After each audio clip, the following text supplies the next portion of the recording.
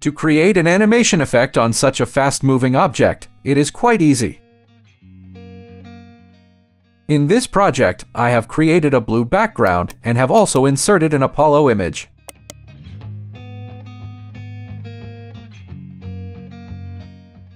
To start creating the effect, create a new solid layer. I will name it Speed Lines. In the color option, I will use black.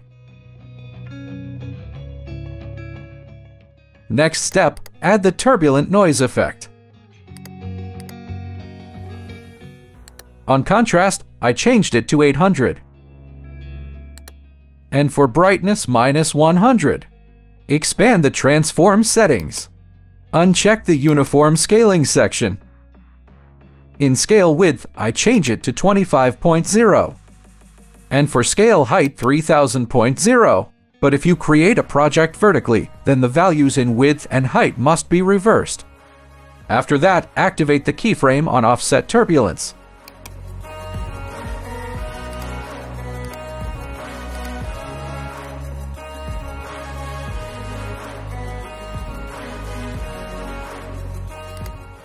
Open the expression control view by holding down the Alt key, then clicking the keyframe icon. Hover over the value settings on the left.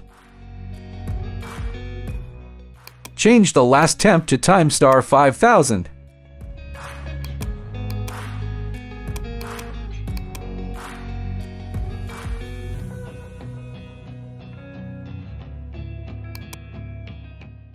And next, activate the keyframe on evolution.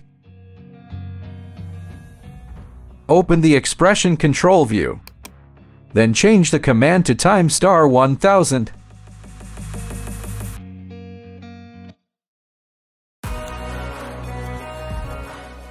The speed line effect has been successfully created.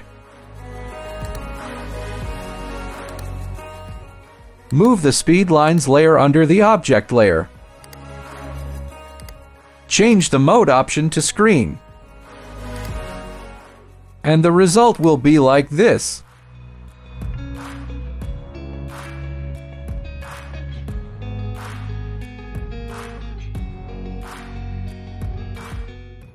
Thank you for watching, and see you in another tutorial.